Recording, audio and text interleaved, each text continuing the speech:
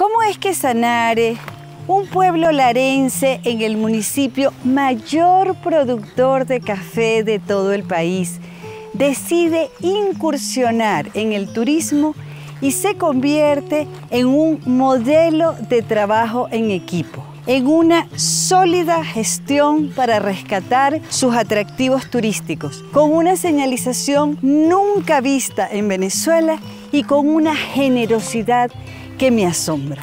Esa es la historia que yo te quiero contar. Valen de Viaje es una presentación de Polar Pilsen, Banesco, Shell Lubricantes Venezuela y Fulgor.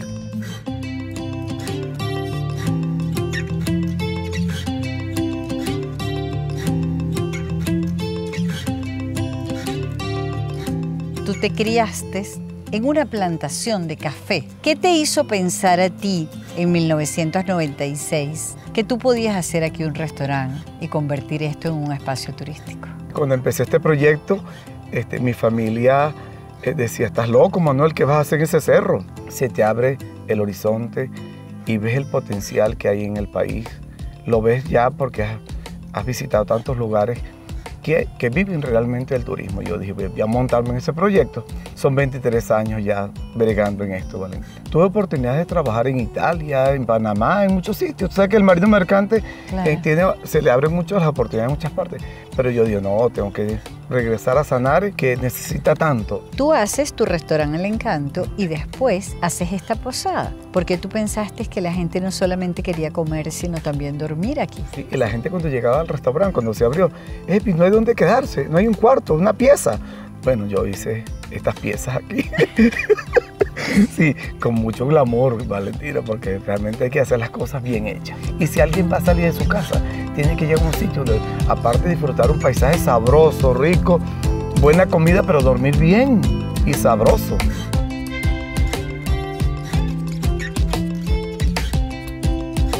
A mí me encanta cómo aquí, cuando tú estás acostadito en tu cama, que lo que ves son los verdes de Sanare. ¿Será que el destino de Sanare era ser un pueblo turístico? Porque ya en 1978 se construyó la posada El Cerrito. Este fue un plan del primer gobierno de Carlos Andrés Pérez de crear los pueblos blancos y se hicieron posadas en Sanare, en la plazoleta de Trujillo, en Jají y en Los Nevados.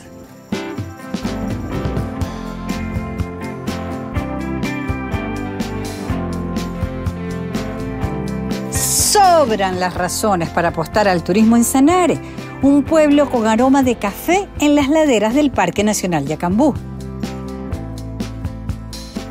Una de las bondades en el Parque Nacional Yacambú son estos módulos que ustedes solicitan permiso y pueden acampar aquí. Son unas literas en cemento con sus escaleritas y todo y aquí tiene sus baños y todo completísimo. El término yacambú viene de un vocablo utilizado por los girajaras, la etnia que habitaba esta zona durante la época de la dominación española, pues por aquí se escondían. Este parque fue decretado el 12 de junio de 1962. Tiene casi 15.000 hectáreas de estos verdes Miren estas florecitas moradas. Y siempre en silencio. Están oyendo el río. Me voy a quedar calladita para que oigan las aves.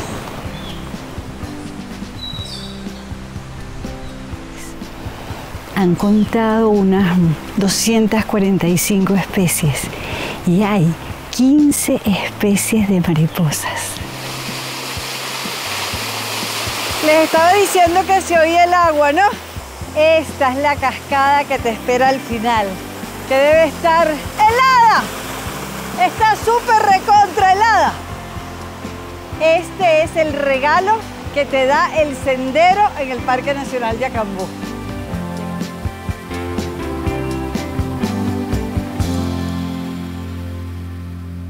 Tú logras que otro montón de gente empiece a hacer posadas en Sanare. ¿Cómo ocurre eso? Sí, la gente pensaba, Manuel se está haciendo millonario. se está haciendo millonario, mamá, a meternos en ese negocio. Y cayeron en el negocio. Froilán se sumó y tiene su posada hermosa. Y ahí tenemos muchas posadas en Sanare que han que, que, han visto en el trabajo mío como una guía también. Yo antes de llegar como posadero acá a hacer el proyecto, ya Manuel éramos amigos. Yo cuando yo le dije que queríamos hacer esta posada aquí, él quería asociarse. Tú sabes que Manuel siendo el pionero, bueno, quería abarcar todo, pues, ¿no? Pero fue un grandísimo apoyo, Manuel, todo lo contrario, Manuel era una persona extraordinaria. Y eso se ha extrapolado a todos nosotros. Y por eso el turismo de Sanar es tan sólido porque es impresionante cómo nos apoyamos unos con otros y nos usamos, porque usamos la fortaleza que tiene el otro. Altos tiene su restaurante, Manuel tiene su spa, el otro tiene la cascada y así pues, ¿no? Y nos, lo explotamos uno con otro, eso, eso es válido ya es un espacio para el turismo. Nosotros lo que estamos es consolidándolo, pues, ¿no? La, la, hospitalidad del sanareño es de verdad que es única. Nos vinimos a una zona que se llama Bojó. Y fíjense los tomates que están cultivando por aquí. Estos super tomates. Y miren esta clase de tomate aquí adentro. Grandotote. Nos conseguimos a José Antonio, que estaba recogiendo qué? sí. Ya se está terminando la cosecha. Ya estamos en las finales ya, ya se está terminando la cosecha, sí, ya. Y aquí veo, José Antonio, que tienes cebollín. Cebollín también, sí, que de zona este, se, siembra cebolla también. Miren este cebollín. ¡Wow! Esto es cebollín acabadito de arrancar, eso es otra cosa. Sí, fresco, fresco. Este es hongo negro que le pega a la cebolla, este negro. Ah, Ahí se ve. Y utilizamos la cal para cortarle el hongo, para el hongo enseguida. ¿Y cómo descubrió eso? Porque haciendo el experimento, pues... Me vine para Monte Carmelo porque este es tremendo dato. Ustedes ven esta cocina púlcara que está aquí perfectísima. Bueno, aquí hacen los dulces más resueltos de la vida Gaudi, ¿de qué hacen ustedes dulces por aquí? La toronja, hacemos salsa de tomate aliñada, hacemos de higo, hacemos de durazno, de lechosa, a veces hacemos de cabello de ángel también. Ven y hacemos la rica salsa de tomate aliñada, que es nuestro producto bandera. Compramos todo esto para los tres por 18 dólares y 2 dólares para el fondo de salud. Mira Gaudi, Tú tienes que sacar costo y subir los precios. Quien le interese por caridad, vénganse a Monte Carmelo y ayúdenla, porque yo de eso no sé nada. Ay, bueno, gracias.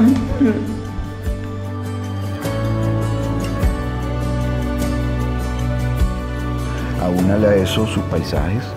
Esto es unos valles y unas confluencias de, de temperaturas, de clima, de... Estamos en la pata de los Andes, aquí comienzan los Andes venezolanos, y entonces tú no sabes con qué te vas a conseguir. Y así como en la parte de arriba de Sanare están los bosques del Parque Nacional Yacambú, abajo queda la hundición de Yae.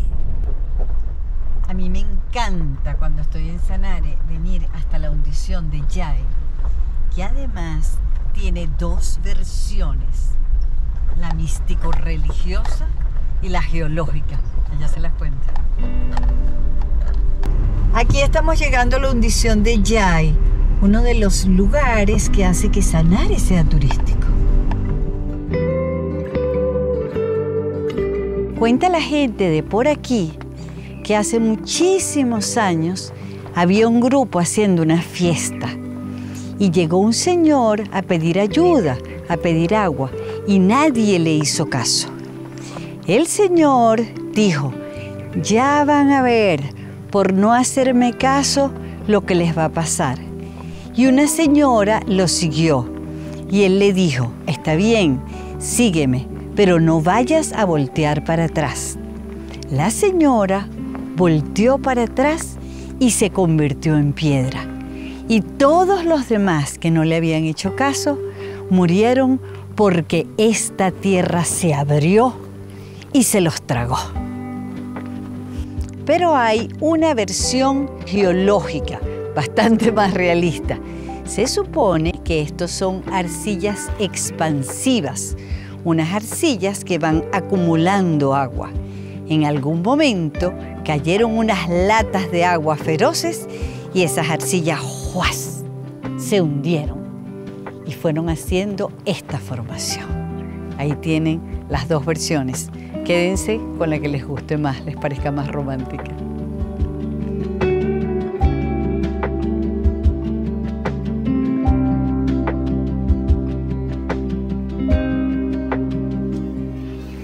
Y me dijeron que también por aquí, por Yay, había una señora que hacía quesitos de cábara. Y creo que logramos llegar donde la señora. Aquí está, ¿cómo se llama usted? Juana, Juana, ¿y cómo es que usted empezó a hacer esos quesitos de cabra? Miren esa belleza de bueno, quesos. Tengo años haciéndolo. ¿Cómo los hace? Bueno, con cuajo. El cuajo del mismo chivo. Lo pongo a secar y después de seco lo echo en la leche. De ahí saco el que llaman el suero verde y mantengo ahí el suero verde. Cuando voy a coger la leche, se lo coloco a, a la leche y cuaja. Después le doy vuelta, lo dejo otro ratico y ahí se va. Después con la mano lo voy haciendo. Ok, vamos a probar un pedacito aquí. Mm. Buenísimo este queso. Hecho de hoy. Edward, prueba aquí. Bueno. Buen queso el de la señora. Vamos a ver dónde están los chivos de la señora. Miren, aquí están. Y por allá vienen otras de por allá lejos, miren.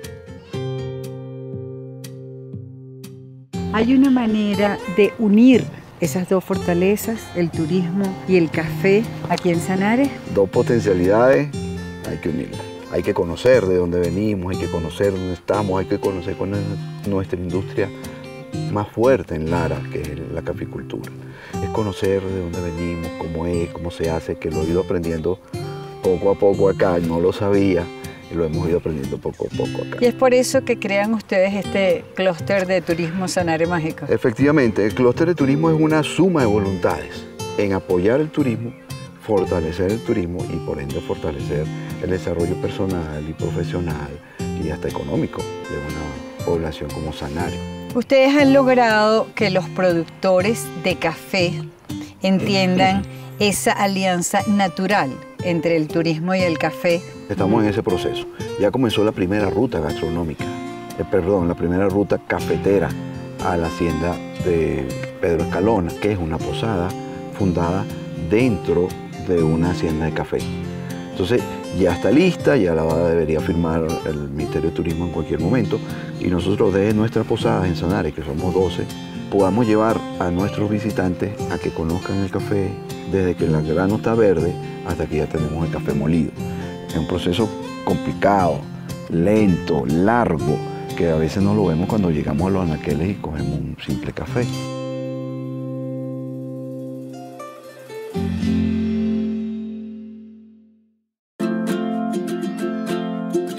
A mí me encanta de esta posada, el Rincón de las Golondrinas, sentirme abrazada por el Parque Nacional Yacambú, siempre con esta vegetación y ahora con aroma de café porque lo están sembrando.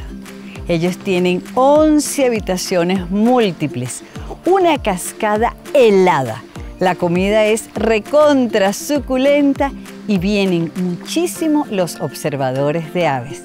Se las recomiendo bastante aquí en este pueblo de Sanare.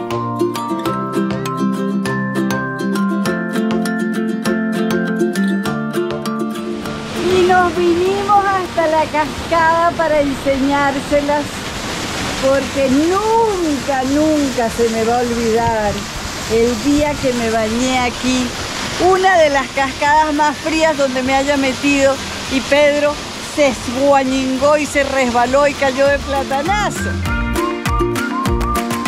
Definitivamente en Sanare creen en el turismo y lo combinan con el café. Cuando ustedes llegaron aquí a Sanare a montar mosaicos en el 2019, Este, ¿Sintieron ustedes que aquí había un entorno distinto entre los posaderos? En definitiva, sí. En el 2015, cuando se me dio la oportunidad de poder comprar esto, fue precisamente por un posadero, por un gran amigo, Manuel Elías. Manuel me dice, hay algo por acá cerca que te puede gustar, que te puede gustar. A los 10 minutos ya estábamos acá, esto bajaba la montaña, todo lleno de monte y todo, pero yo me imaginé incluso las mesas que hay en ese árbol, estas mesas que tenemos acá, los mosaicos, inmediatamente tuve una conexión mágica y todos los planes que tenía para esa fecha se me vinieron abajo todos y yo feliz, pues cuando me conecté con esa energía positiva que tiene Manuel, que siempre te, siempre tú crees que lo vas a poder hacer todo y efectivamente así es, pues y entonces arrancamos acá. Pues. Bueno, la, idea del clúster es maravillosa porque nos ha unido a los posaderos principales de Sanare eh, en hacernos más amigos Ahí no hay rivalidades, sino todos nos ayudamos. Todos estamos pendientes de todos. Que nuestras posadas se enrumen en la calidad del servicio para que así todo Sanare tenga negocios de calidad. Muy cerca de Mosaicos está la posada Santa Eduvigis, pequeña, muy acogedora, con preciosos jardines y corredores para verlos verdes, chinchorros por todas partes, un ambiente muy familiar y el esmero de sus dueños en la atención, las comidas y los jardines. Bueno, yo creo que el Circuito de la Excelencia, con su plan de, de, preparar a, a, las comunidades que están en los entornos de la posada, empezamos a trabajar en ese proyecto de los clústeres de turismo.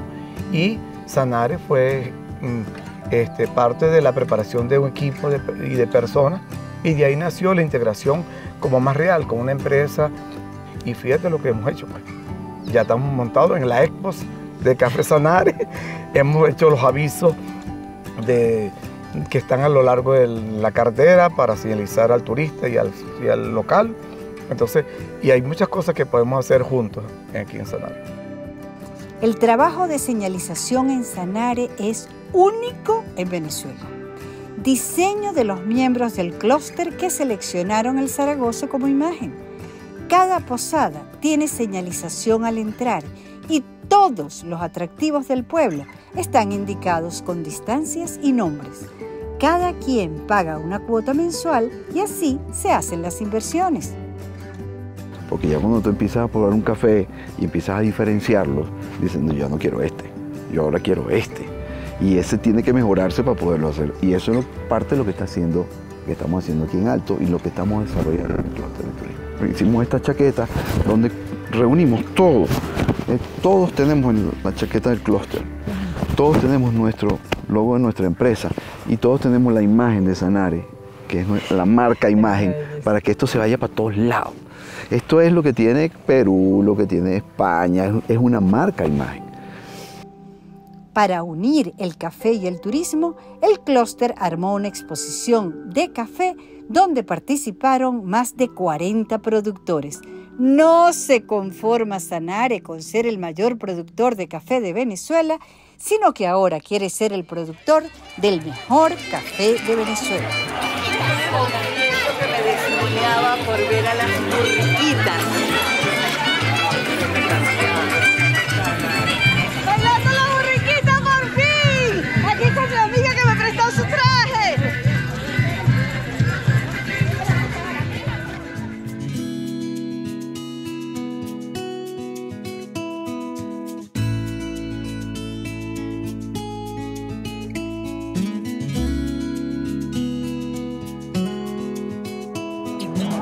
Jaime, ¿por qué tú dices que esto es un café de especialidad? Primeramente la mata, la cuido bien, todo lo que se pueda con amor. Cuando lo voy a descosechar igualito, granito por granito y todo lo que esté en rojito. Y el proceso igualito se lo hago. ¿Cuál es la diferencia entre el natural y el lavado? La diferencia entre el natural y el lavado es que se descosecha, el natural se agarra de la mata y se le hace el proceso de secado sin, sin maquinaria. Y Y este, el, el lavado se pasa por máquina y por eso uno lo llama lavado. Pero es el- la misma calidad de café, el mismo proceso, diferente proceso. Que es un café diferenciado. Un café diferenciado es que tú lo procesas de una manera diferente como se hace tradicional, que resulta en, en sabores, aromas y, y características del café muy diferentes pero superiores. Ese café de especialidad, tú puedes sentir la diferencia en el momento de probarlo. Sí, precisamente es eso. Tenemos que pasar de ser el principal productor de café a lo de mayor calidad de producción. Y eso, Eso es lo que estamos logrando. Es decir, que vas a empezar a exportar tu café de especialidad. Estamos en eso. Sí me gusta que los sabores venezolanos lleguen al mundo. A mí me encanta cuando una mujer como esta muchachita se me atraviesa así y me dice, mira, nosotros hacemos café orgánico desde hace 17 años. Contigo es que yo quiero hablar y con tu papá. ¿Cómo empezaron ustedes a producir café orgánico? Los abuelitos nosotros producían orgánicamente y se vendía el mejor café del mundo. Y ellos no tenían tecnología de nada, tenían patios así de tierra que secaban el café y se vendía el café, el mejor café que vendían a los abuelitos era el mejor café de Venezuela. pues. ¿Tú aprendiste con tu abuelito? Sí, yo aprendí con mi abuelito, sí. ¿Y Mi tú estás aprendiendo ahora con tu papá? Estoy aprendiendo ahora de mi papá. Son 17 años trabajando por este café orgánico. Es un línea 1, pero es orgánico, así como los plátanos y todo lo que se produce en la costa. Yo los abrazo a los dos. Me emociona muchísimo que sigan esa tradición de los abuelos.